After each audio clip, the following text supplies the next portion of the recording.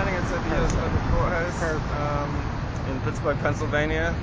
And finally, the defense is rested, which means tomorrow morning, uh, Jordan Miles and the three defendants, Michael Saldutte, Richard Ewing, and David Sisak, will arrive to a courtroom with no witnesses, and the jury will uh, begin to deliberate after um, closing statements.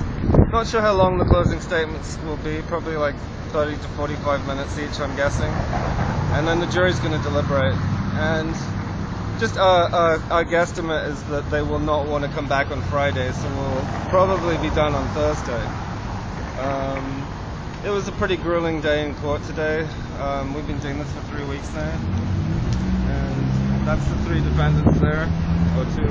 Yes. The guy in the light suit in the back is uh, David Sisak. And Michael Saldutte is the big guy. It's kind of weird to see his presence in the court, you know, and I would I wouldn't like to be up against him on a, on a, a January uh, evening in uh, Homewood, that's for sure. So it pretty much is we're done for the day. We're gonna take a early break, and tomorrow we'll be back covering this. Um, you can read more on justiceforjordanmiles.com.